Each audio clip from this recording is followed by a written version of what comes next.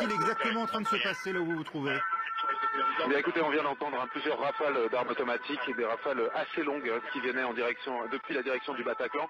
Donc visiblement, il y a eu, euh, en tout cas, tir, voire échange de tirs, euh, peut-être entre les ravisseurs et les forces de l'ordre. C'est difficile à interpréter d'ici, mais ce que je peux vous dire, c'est qu'on vient d'entendre euh, au moins deux longues rafales, plusieurs dizaines de cartouches viennent d'être tirées, et il va falloir voir comment la situation évolue d'ici là. ce qui est certain, c'est qu'on voit le balai des véhicules de secours, notamment les véhicules de secours des pompiers qui est en train de s'activer sur les deux voies de ce boulevard Richard Lenoir, euh, ainsi que des véhicules de police en mouvement.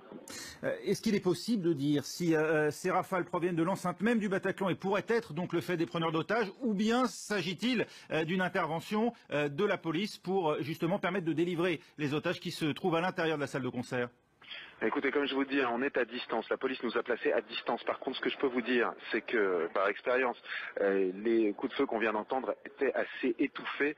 Or, étant donné la distance à laquelle on se trouve, on pourrait imaginer qu'il s'agit de coups de feu qui ont été tirés à l'intérieur du bâtiment et non pas à l'extérieur. Vous ne constatez euh, pas de mouvement particulier de la part des hommes du raid hein? Pour l'instant, non, mais une fois de plus, on est un petit peu loin, donc c'est difficile, si vous voulez, d'établir exactement ce qui est en train de se passer. Ce qu'on voit simplement, c'est effectivement des mouvements hein, des véhicules.